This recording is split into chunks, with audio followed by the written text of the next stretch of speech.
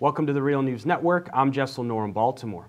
July 4th is celebrated here in the U.S. as Independence Day to mark the adoption of the Declaration of Independence from Great Britain by the Second Continental Congress in 1776. Now joining us to discuss the radical, little known history of, the, of Independence Day is Peter Linebaugh. Peter is a historian and author. He just retired from the University of Toledo, where he taught for 20 years. He's the author of many books, including The Many Headed Hydra, Sailors, Slaves, Commoners, and the Hidden History of the Revolutionary Atlantic. He's also the author of the Magna Carta Manifesto, Liberties and Commons for All, as well as most, re most recently, Stop Thief, The Commons, Enclosures, and Resistance.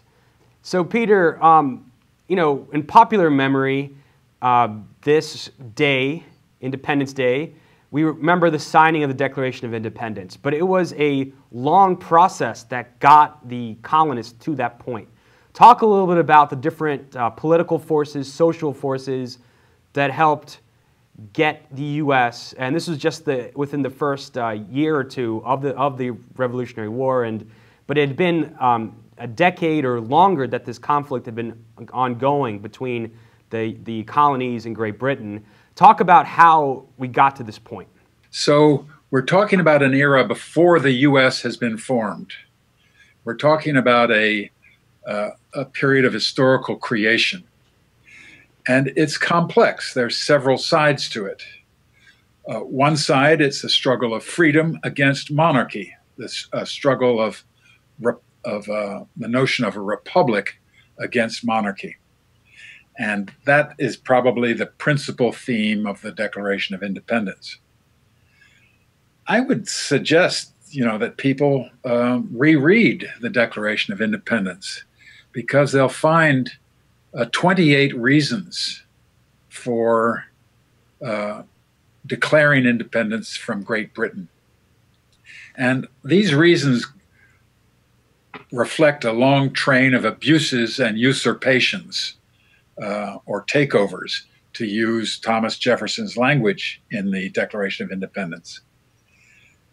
And I think uh, one of the most important of these um, grievances was that the King of England had opposed conditions for new appropriation of land.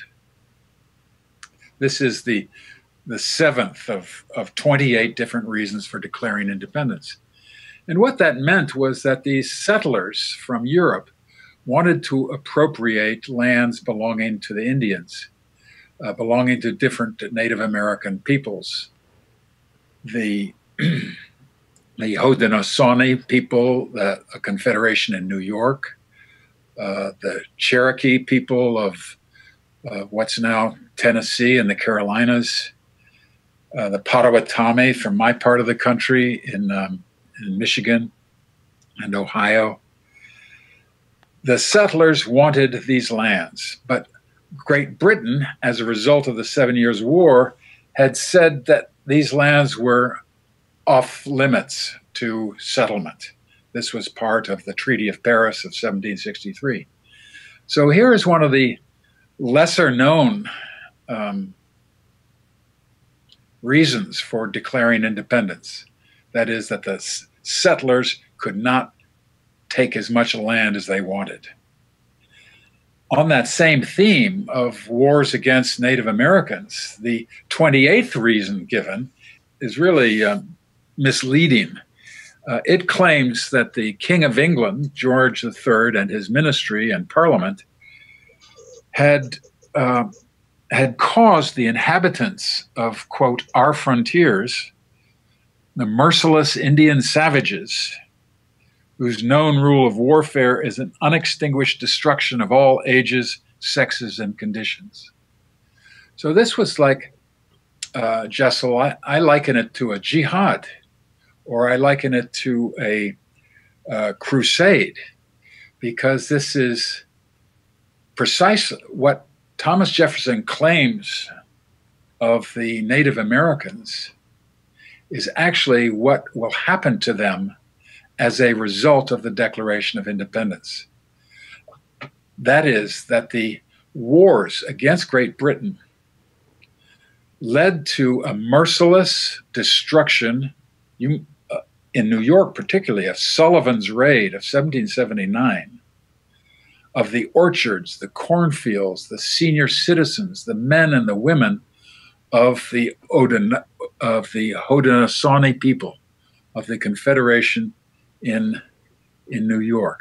And, and Peter, and it's, it's worth mentioning that the British weren't necessarily against expanding um, and taking more of the natives' land. It was just getting too expensive for them. Uh, they were they had um, you know spent enormous amount of money fighting the French in fighting the French in the French and Indian War, and as well as um, and so they had been taxing the colonists, which had you know caused a great protest. Um, yes, good, very good point. Very good.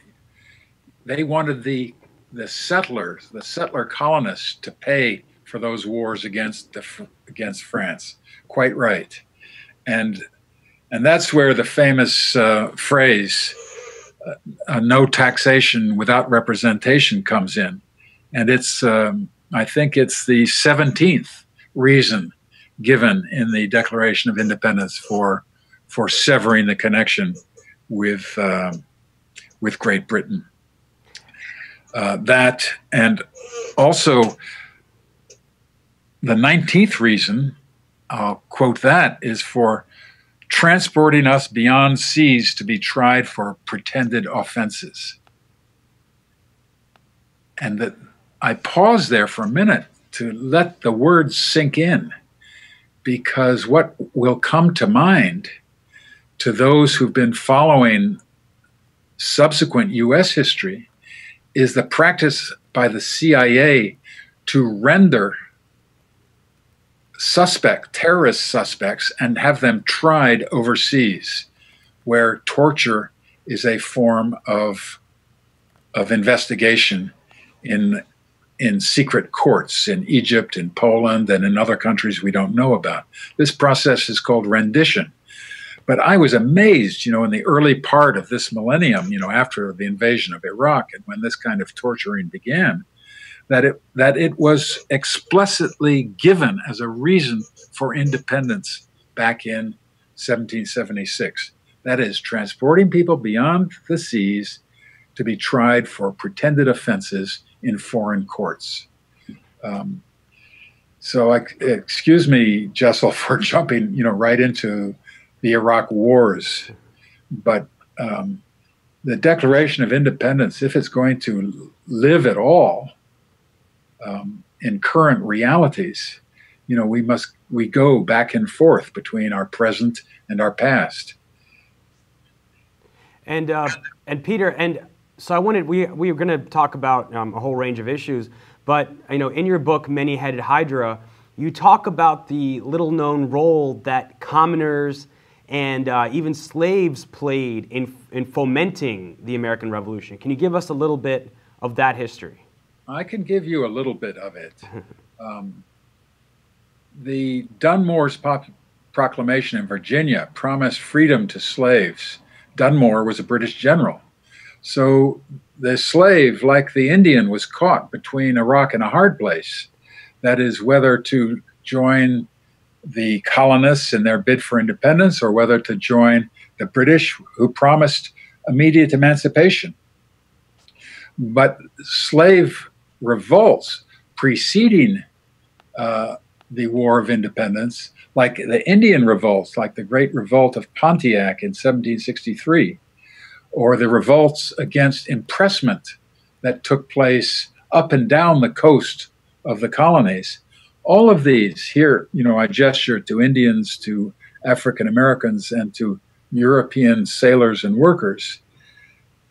Um, I call them, we call them commoners because so many of them, before they came to the colonies under terms of coerced labor, so many of them had participated in, in economies which were not based on private property or incessant accumulation and and aggression for land belonging or used by others. And these forms of other forms of economies, um, especially in England, were called commons. Uh, they were common lands. And when those lands were enclosed or fenced off, the people who formerly had subsisted on them now were um, had few choices in life, and even if they weren't enslaved as or coerced as teenagers in West Africa or as um, as as commoners in England who were impressed. Uh, they began in the United States, in Philadelphia, in Boston, in Providence, Rhode Island. Uh, they began to get to know each other. They began, and they did so in taverns, they did so in poor parts of the town, and they did so above all on ships. So the ship itself uh, was a machine. We usually see it as a machine of commerce or a machine of war, but it was also a machine where the people of the world first got to know each other. They first got to hear one another's stories. And in some ways, you can say this is where multicultural America began to be formed. And, uh, and so, Peter, um, you, you call that the motley crew because it's a multi ethnic crew, and the, the population may oh, not, not even a crew, not, not just a crew, but also uh, bands of people that worked on land as well. And, you know, they, they were multi-ethnic and, you know, they, their relationships might have crossed uh, class lines as well. Yes, this is, this is quite true. You know, Herman Melville was the man who had the imagination to see this um, in all his great nautical books whether Billy Budd or Typhoon or White Jacket, and then of course Moby Dick. But that that reality of democracy on shipboard, and as you say, um, multi-ethnic uh, communication, was a big part of the background to the um, American Revolution. It was a even though those people did not lead the revolution in the sense of signing their names to documents, they led the they they led the freedom from actual slavery. They led the freedom from actual and coerced labor on ships, and they also led uh, in Philadelphia. Here, I'm thinking, Jaisal. Um, they led the struggle for fair prices, and they led the struggle against debt. And these are two issues that, that remain with us. So this motley crew will provide the, uh, the force of the revolutionary armies. And when they're not paid or when they're mistreated, they are perfectly capable of mutiny. And Peter, um, you, you mentioned one of the slogans of the revolution, no taxation on representation. But as we, as we touched upon in this conversation already, there were many groups that were not franchised at the culmination of the revolution. Obviously, African Americans, women, and men that were not that didn't own land. Um, and you know, it's often portrayed as the elites created this framework, this you know, they created the Constitution that would in like eventually grant these um, rights and and you know the right to vote and other civil rights to to the entire population. But talk about the, the revolutionary process that actually led to those rights being achieved.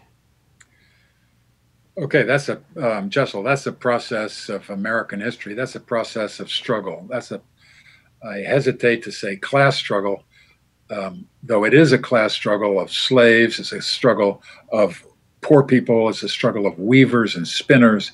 It's a struggle of housewives. It's a struggle of women more generally it's a struggle um, that is not over, and sometimes the the American Civil War is seen as a, a, continuation, as the chapter two, where the Declaration of Independence and Fourth of July was chapter one. Uh, th this is why the Fourth of July, you know, has this military flavor to it. You know, and we all turn out and we we watch the fireworks. But the first fireworks, of course, were, as we know from the song, the rocket's red glare. Uh, this came from a war. Uh, speaking to you in Baltimore, I don't need to remind you that uh, Fort McHenry in Baltimore is where the British uh, invaded in 1812. Uh, so I'm, what I'm trying to say is that war is the most extreme form of struggle on a large scale, anyway. And those powers and rights and freedoms that you referred to and that we celebrate on the 4th of July, they are the product of vast human struggle. I mean, the struggle for American independence was not just that war, but was a, but goes back to the 17th century. The struggle against slavery was at least 100 years old. Um, you know, if you take 1863, the Emancipation Proclamation, 100 years earlier was 1763. That's the plantation of George Washington. 100 years before that, 1673, you also have slavery. So the struggle against slavery is a very old and long struggle and reaches a great, great culmination in the uh, war between the states, but in the Civil War. And, and, and may I quote, Jaisal, from Frederick Douglass, the abolitionist? Yes, absolutely. Okay, because he says something that that I'm thinking about, and I wonder whether you all are thinking about it too. This is the speech he gave on the 4th of July. And I think a lot of you are familiar with that speech where he says, What is the meaning of the 4th of July to the slave? But before he says that, he says what it is that we need. And this now is just a few years before John Brown's raid, it's a few years before Fort Sumter and the beginning of the Civil War. Here, in the words of Frederick Douglass, is what we need. It's not light that is needed, but fire. It is not the gentle shower, but thunder. We need the storm, the whirlwind, and the earthquake. The feeling of the nation must be quickened. The conscience of the nation must be roused. The propriety of the nation must be startled. The hypocrisy of the nation must be exposed. And its crimes against God and man must be proclaimed and denounced. Isn't that powerful? Here here he's using the rhetoric from the era of the Declaration of Independence, and he's prophesizing. He's, it's a prophetic voice from the Old Testament, imagining the war to come, the American Civil War, that at last put an end. Well, not quite. It didn't quite end uh, slavery, did it? Uh, because the 13th Amendment permits slavery or involuntary servitude in cases of prison. And so I think it's, you know, if we're going to jump from the past to the present continuously, then we need to say that is not yet finished as the prison population of the U.S. continues to grow and to grow. Peter Linebaugh, thank you so much for joining us. You're very welcome. And we'll continue this conversation at therealnews.com. Thank you so much for joining us.